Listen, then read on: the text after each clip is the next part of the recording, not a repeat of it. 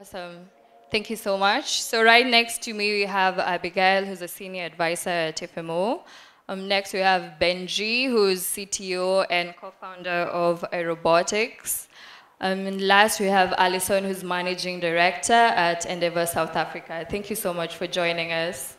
So Benji, I'd like to start with you. Um, we were tracking the investments in uh, agri-tech and food tech startups.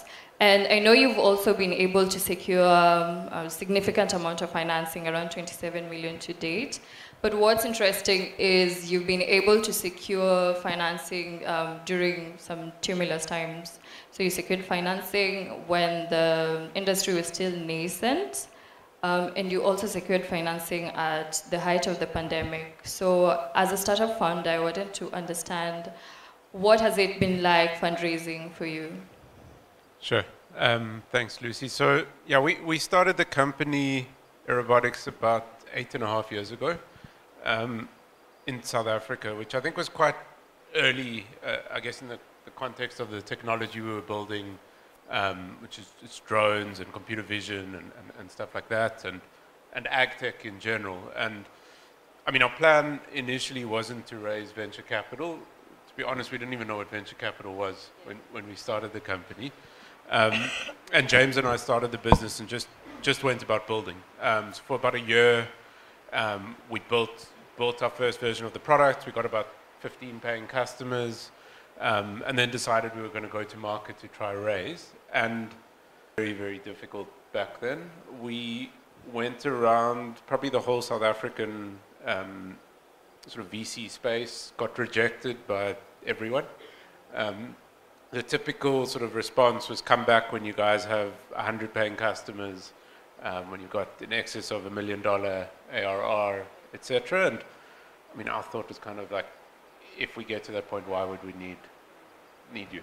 Um, eventually, we landed on a couple sort of true seed um, investors in 4DI and the Savannah Fund out of Tanzania that I think actually understood seed investing. And from then, it's been a whole lot easier. I think um, the, space has evolved, for one. We were able to build a bit of a presence, grow our customer base, um, and kind of rode that wave over the next few years, getting the likes of um, Endeavour and, and FMO, etc., to invest as well. Um, recently, through COVID and now sort of what, what's happened over the last six to 12 months, things have become quite a bit more difficult again. I think fortunately for us, like food security, if anything, is more important than it's ever been. Um, the sector that we're in in making farming more efficient, more viable, um, is almost more important than, than before. And we've been able to kind of get through these these periods by making sure that the, the, the, the business and the, the premise of the business is kind of recession proof to some extent. Having said that, it has been difficult with the shift, especially now away from growth and towards sort of sustainability. Uh, thank you so much. And just on the point of sustainability, I think Alison coming in as both um, an investor and accelerator, we were having this discussion on how to make the startup ecosystem more sustainable and having startups, you know, uh, considering uh, just going beyond financing. So what is the approach that you feel startups should take to ensure that, you know, they're sustainable even after securing financing? Sure, and I want to say if, if, uh, if everyone knew the, the answer to that question, I think probably none of us would be here in the room. But I mean, I want to say when you think about that specific question on how do you, you know, what do you do now that you've got your financing? And I think Benji alluded to it really well. You've got to take into consideration exactly who's the investor set that's out there. So who are the seed investors that will invest in your, in your segment? Know exactly who the investors are that will be at your pre-Series A, in your Series A, and later. So you really understand who those investors are and then what you. And again, like you just called out, sustainability is a really, really important topic now. So as investors, they're all looking for returns, so you've got to get those commercial returns. But then many investors are looking for, you know, something more. So if you are, you know, knowing and understanding who your investors are and say, this team is really keen on food security, as well as gender, as well as really uplifting um, certain, certain individuals in certain countries, you know, you're going to be much more successful in accessing that financing. So I think I want to say we as Endeavour, what do we try and do in this space? Just is try and assist with making it really clear to the entrepreneurs which investors are in those spaces. So who are the angels? Who are there to support you in the pre-series A rounds? What are they looking for? What are their mandates? What do they need?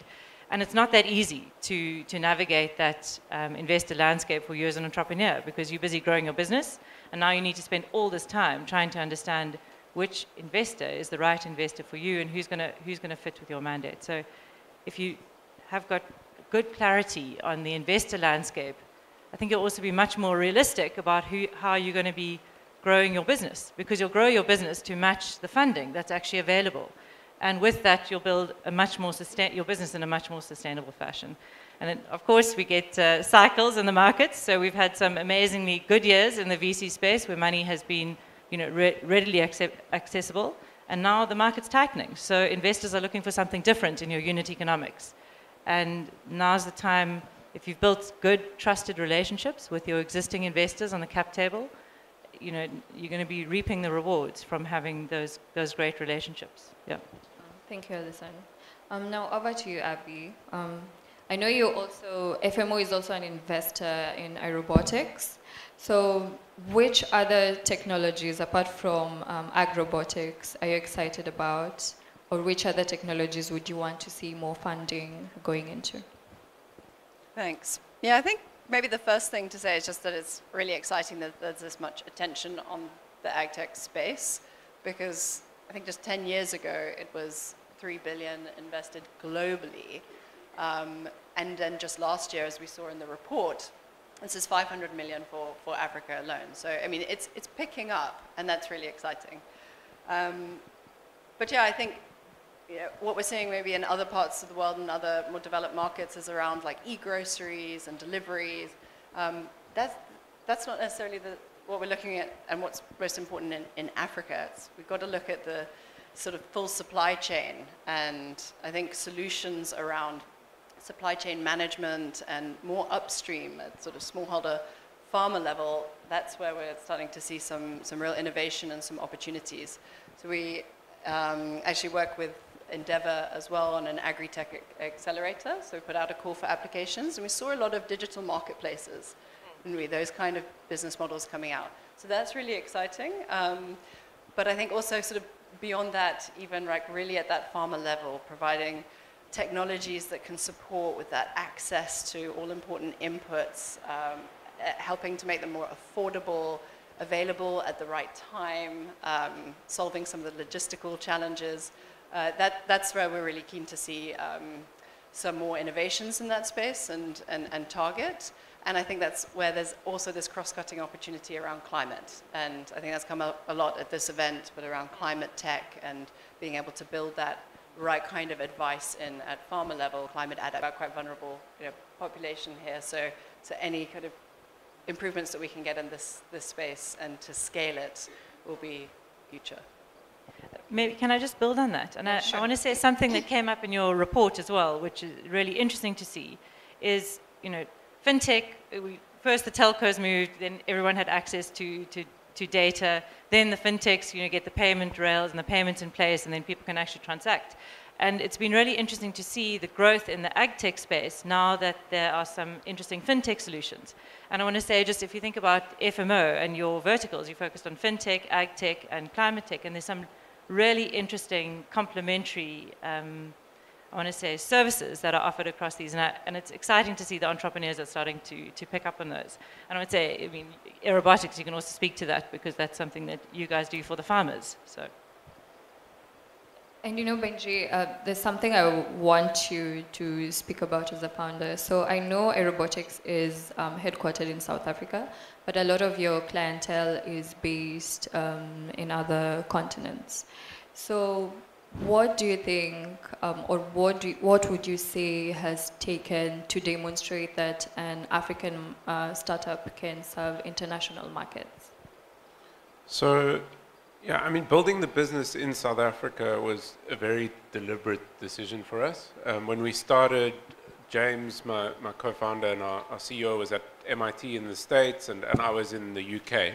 And we, we saw an opportunity to come back here and, and build the business. And just for a couple of reasons. One, one being, just from a technical perspective, access to talent um, we believe that we could get access to people um, of as high a caliber, if not higher than we were getting exposed to offshore, and obviously for a much more affordable price.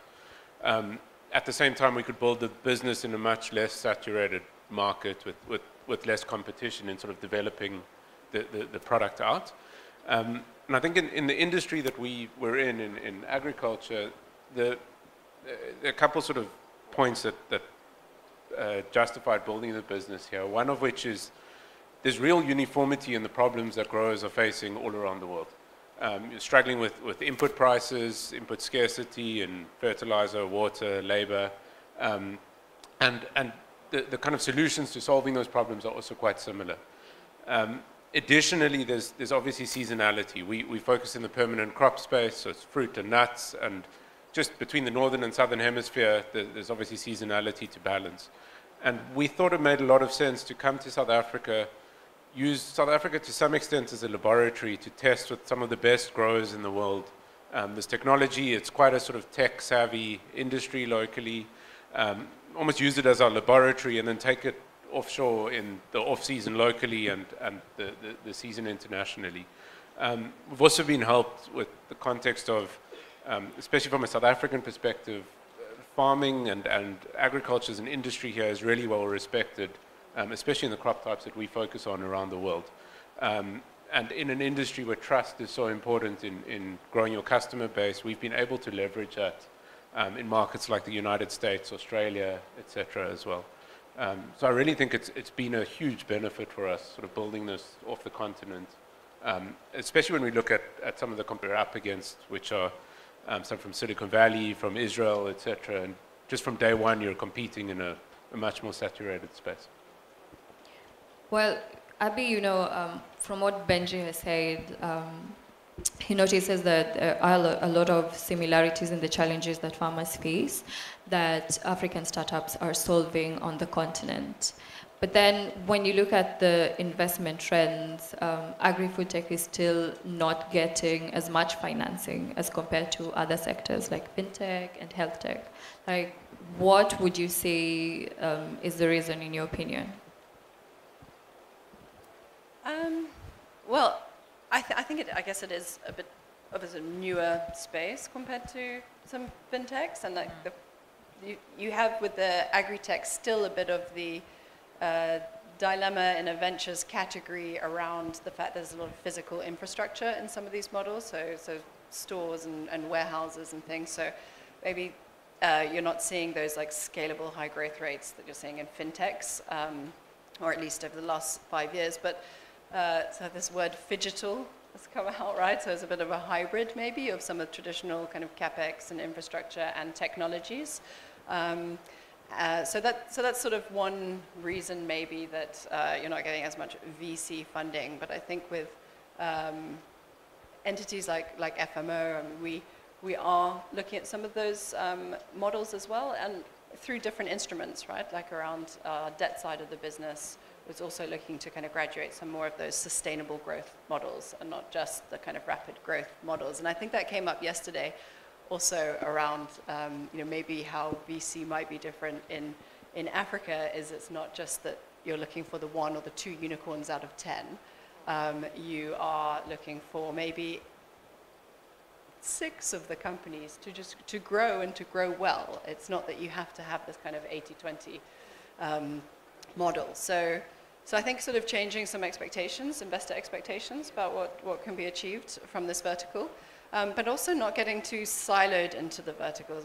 I was at a FinTech for Inclusion Summit last week, where one of the questions that was asked was like, can FinTech solve like climate challenges? Um, and actually the answer from the room was like, mm, disagree, right? Because it's not just any one sort of solution that's going to solve these complex challenges. We need going to look at things like fintech or embedded finance through agri-tech models um, that could uh, solve things, especially at, at ground level with farmers and see some of the changes that we're looking for. So I think maybe that's also what we might see attract more investment is when you're seeing the, not these vertical silos. And Alison, back to you. Um, I would like to understand more about how you know, Endeavor is helping advance the, um, like the ag ecosystem? No, sure. And I want to say Abigail spoke to that um, a little bit earlier, but there are really two parts to Endeavor. The one side is the sort of business acceleration, where we leverage, leverage our global um, pro bono mentor network to offer tailor, tailored and on-demand mentoring to the businesses or you know, high-growth businesses that are at an early stage. And we've partnered with FMO for the past year um, to work with 10 really early stage businesses across Africa to, to do just that. And it's one, giving those teams accessing to some of the, the best mentors um, across the African continent and also internationally. Primarily, we focus on entrepreneurs who've sort of been there and done it before.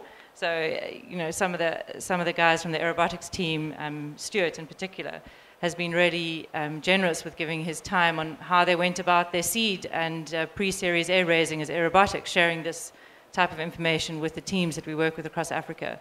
Likewise, pulling in entrepreneurs like, like Apollo from Kenya, um, AgTrace from Brazil, and really just cross-pollinating the learnings and advice from entrepreneurs who've been there and done in other segments. Um, and then the second part is on um, really providing capital. So our Catalyst, Global Catalyst Fund is, has invested in aerobotics, and we've got a local fund here. But what is that fund? What are those funds looking to do? They're looking to really put liquidity into these markets. They follow funds. We don't lead rounds, so we work hard to try and encourage investors like FMO, AfricInvest. Um, you can list the, the, the list of ag investors in, in Africa to lead the rounds for entrepreneurs where there's a great fit, and then we as Endeavour will come in behind them to look to close that round more quickly so the entrepreneurs can get back to business and grow their funds. So, yeah. so yesterday um, at a certain panel, what came out is um, that investors feel like startups are not really um, there yet when it comes to having great pitches. And I know this is something that you see a lot, like coming from the accelerator and investment side. Um, so what would you say are startups getting wrong when it comes yeah. to pitching? I want to say, you know, that's one very general question, so I'll, I'll, try my best to, to answer it. But it's so much easier to pitch if you've pitched a good few times before and got investment, because there's no better way than learning how you need to, to pitch, you know, is learning from experience. But my best advice to entrepreneurs when they're pitching is, you know, make sure you've got a phenomenally credible and compelling story. And I mean, I know it sounds like really theoretical. And know exactly what your investor on the other side of the table is looking for. Go there to the table knowing these are the last 10 investments that, that this investor has made. These are the follow-on rounds that they've made. Why have they made those, those investments? They've made those investments for this reason. Okay, then you'll be talking about your business, but you'll be putting it in the eyes of the investor. So you'll know, okay, they're looking for this type of return, but hey, they're also looking for this type of impact and just make sure then you've got your story straight that it's actually going to fit with the investor on the other side of the table. And step one is like investor, they're looking for commercial returns. So just make sure that comes across your, your market size, how you're going to be delivering commercial returns in the future. Um, so you've got to prove out your business model. And, but I want to say really important to know what your investor is looking for who's sitting on the other side of the table. Yeah. Great. I think at this point, I would like to open the floor to a Q&A Is there anybody with a question? Yes, we have a gentleman right here. We have two questions. Please state which panelist you're addressing the question to.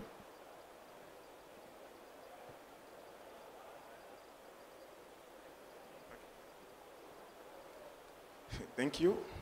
Sure. My name is Steve. I'm from Benin, in West Africa. I'm CEO and co-founder of AfriCereal Group, that a company specialized in varieting machine for producer and linking farmer to market. My question is, uh, according to you, what lesson, what lesson can, can be learned from investing in agri agri-tech in Africa? What lesson can be learned? You're asking who, who you're asking, just so we know. Is that anyone? I think. Yeah. Okay. So I just want to check, are you asking what can be learned for the entrepreneur or what can be learned for the investor? Investor. As an investor. An investor, be patient because it's going to take longer for all the reasons that Abigail called out. Right? The ag techs are often they're not pure fintech. Like when I, we talk about fintech players, those are incredibly scalable over a, a relatively short period of time with not that much fixed assets um, that you need to invest in. When you're talking about the ag tech sector, there are typically lots of physical products that are, and movements that need to happen. So what does that mean? That means that your unit economics are going to be really different in that business. And also, you know, maybe you're going to have to need a combination of financing. So it won't be pure equity, because potentially there's some assets in that business that you can use some interesting debt models to also, or debt financing to support. So I want to say, as an investor in general with ag tech, you need to be more patient because, you know, on, on average, it is, is going to take longer because that mix that Abigail spoke through. Um, and then also, I want to say, really know the business that you're investing in. Because almost those same, those, that same list of things are called out for the entrepreneur. The investor know that entrepreneur. So, and be really realistic about what can be achieved and what, what you know, is, is not realistic, and also how you can help. Because as an investor, you've got an amazing role in addition to providing capital of what you can do for that entrepreneur. And, and do it, because it'll grow the value of the business and therefore your investment. Um, maybe I'll pick up on that on like, maybe two ways that we are supporting um, some of the agri-techs uh, we've invested in and, and, and what I see as being maybe linked to the trend around embedded finance as well. So at a certain point with this marketplace model or once you've got a, a large user base of farmers, there's going to get to that question of, is this the platform through which you start lending, right, and access to finance? And then you start meeting fintech and, um, and what quickly becomes a, an issue. I mean, you didn't set up to solve that problem, right? You set up maybe to solve logistics or advisory, but now you're in finance. So I think as an investor, like we can maybe fast track some of the really critical kind of uh, skills transfer from the fintech space into agri-techs and or partnerships, right, with, with banks or entities that could be lending through the agri-tech platform. Um, because things like credit scoring are, are really obviously critical um, in terms of making that, that, that lending model work. So um, I think it's a really exciting opportunity for agri-techs to get into the, the financing space, but it's also, you know, something that shouldn't be, it's not easy. Um, and so maybe trying to sort of borrow from some of the places where they've solved that. And the other thing I think for, for Africa, what's quite interesting is not to look necessarily at like Europe or American models um, because we're solving different problems here. But, but India has some really interesting agri-tech models that are scaling um, there's a company called DeHaat that we work with that now has like 1.2 um, million users on its platform, and it's doing all of these kind of integrated services around advisories and, and inputs, and, and now starting with finance as well. So is there some sort of like, if, as an investor, like the knowledge exchange that we can facilitate between you know, Africa and, and Asia on, on that front with agri-tech models? Great. Um, there was a gentleman on the left.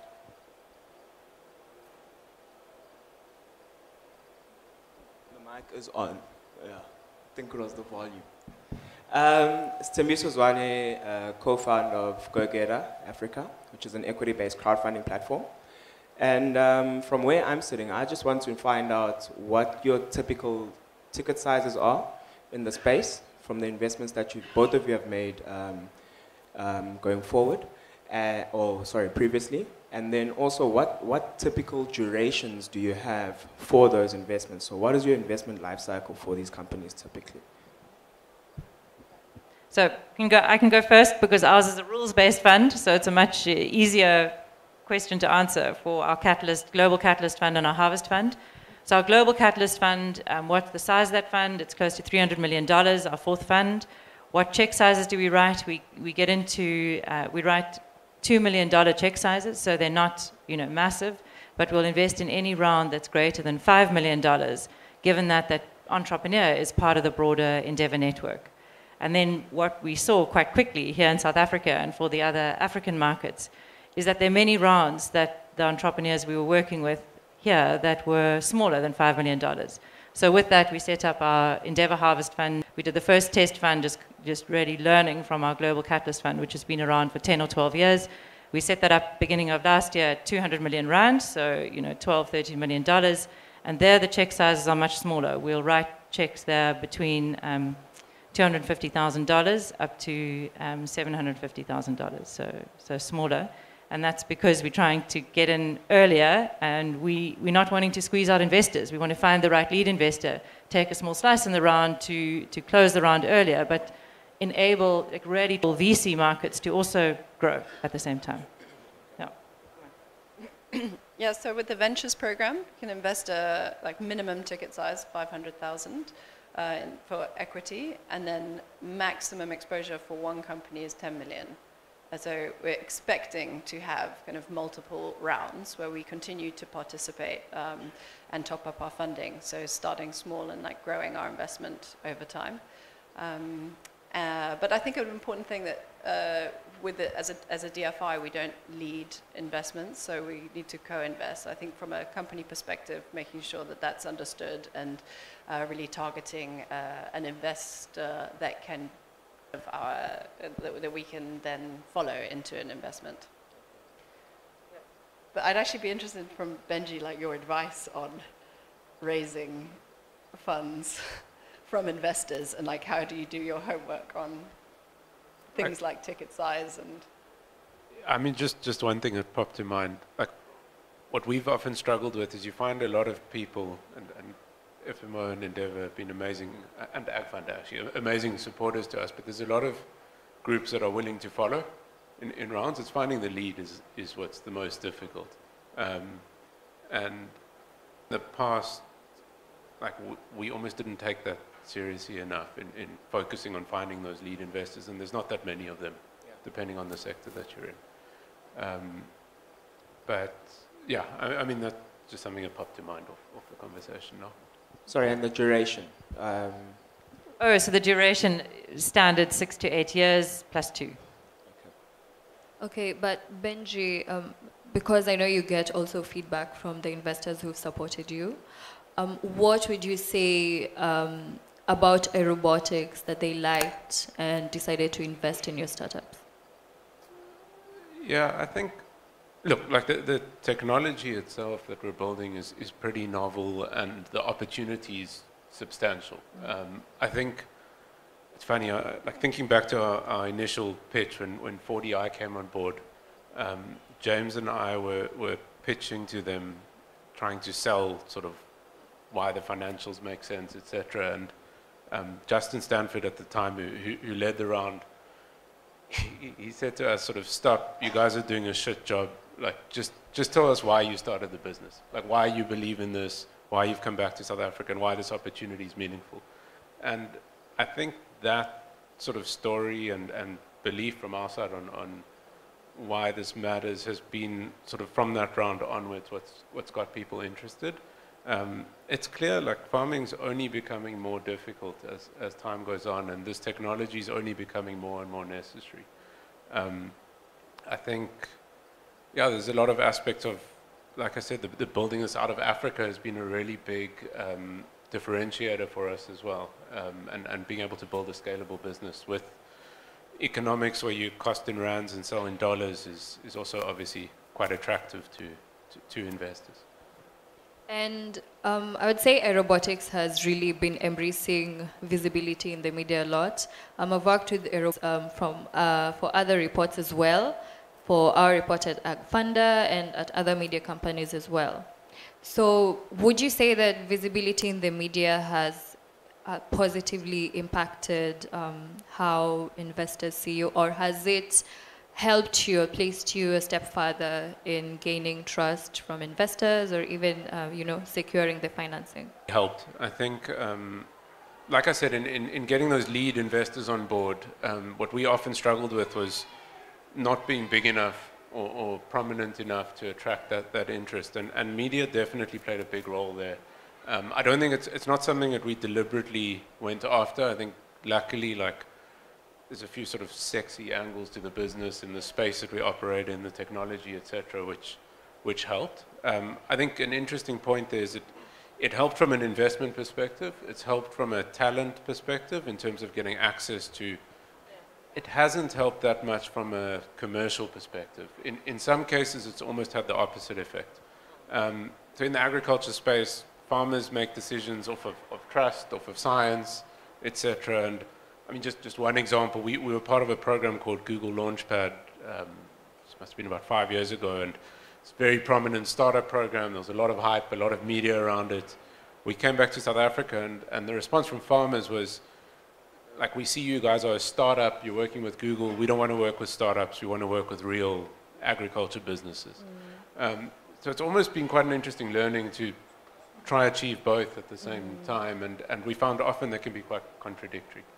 Okay, so are you moving um, away from branding yourself as a startup? We're trying to. We're trying to focus on the science, on the sort of case studies, on really entrenching ourselves in agriculture itself. And um, look, it's a fine balance and a fine line between the two, but um, I think a lot of the, the, the, media and the branding has helped us get to where we are. What's going to help us get to the next step is real substance and partnerships and working with industry it, itself. Okay, fantastic. Is there any other question? We have a question at the back. Uh, sorry, yeah, I've just got a question around the different markets for agri-tech. So I'd like Benji's view on this, but then also Alison and Abigail in respect of South African agri-tech companies focused on big commercial farmers versus a lot of the technologies that we've seen in places like East Africa, like Apollo that you've mentioned. What's the type of preference and the type of landscape of how you assess those two different markets when you're looking at companies? Um, from an FMO perspective, I'd like to understand when you're focusing on smallholder farmers, how do you think about a blended finance model? Because obviously there's also a bottom of the pyramid uh, type of thing there. And then also for Benji, when you were planning on scaling out, why the move into um, into the US? And did you consider, from a market size perspective, bigger commercial farms in South Africa and going into Zambia or Zimbabwe and some of those places? So, yeah, just a, that landscape type of question. Cool. Um, yeah, so, so Look, we, we focus on very specific crop types. Um, it's permanent crops, high value crops, which we think the technology lends itself to in that the impact you can make sort of warrants the, the, the cost of the technology. And it's, it's mostly been citrus, apples, and nuts. And we've kind of followed those crops geographically into the markets that we focus on. So that's largely been the reason places like Central Valley in, in California or the, the, the east coast of Australia are are kind of markets that, that we've looked at.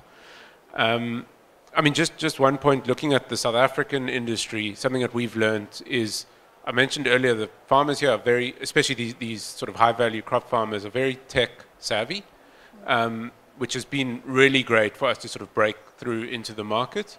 One of the challenges we faced is in, in being almost first to market in our space, we didn't understand sort of what cost that would bring with it in terms of having to educate the market and almost create the market to, to begin with.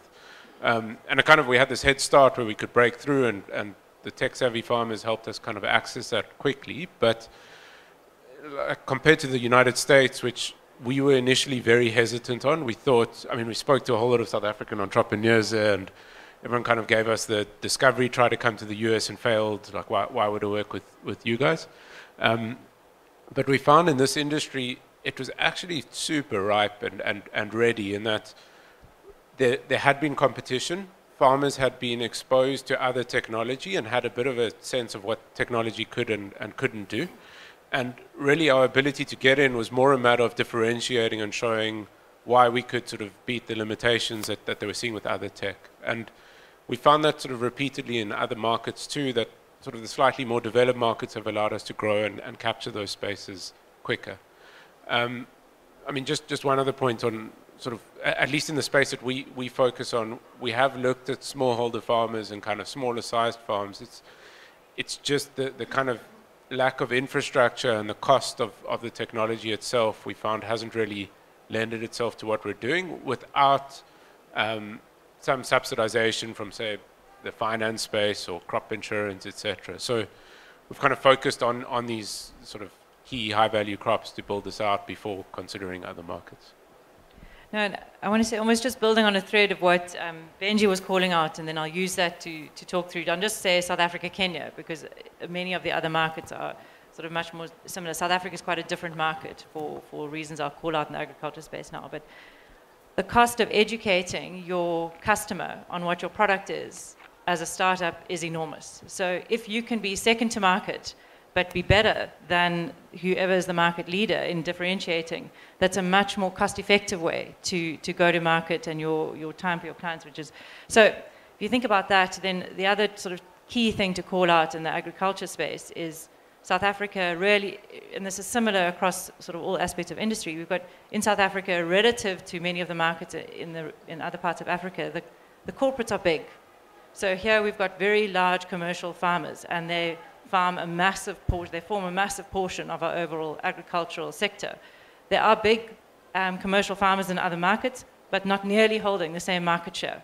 And then on the other hand, the smallholder farm, farming is much bigger in many of the other markets.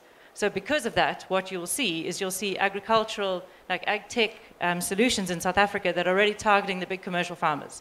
Why? Because the opportunity sits there. Whereas in, you know, Kenya and the other ones, you see lots of, and this doesn't only just stay with agriculture, but you see lots of B2C models, lots of marketplaces in Kenya, Nigeria, Egypt, e-commerce, delivery, et cetera, et cetera. Why? Because the corporates aren't as big in those markets. So the opportunity space in the B2C is very big. Relatively speaking, in South Africa, B2B is a big opportunity because they're very large corporates. It's not saying there's not B2C, but there's also B2B.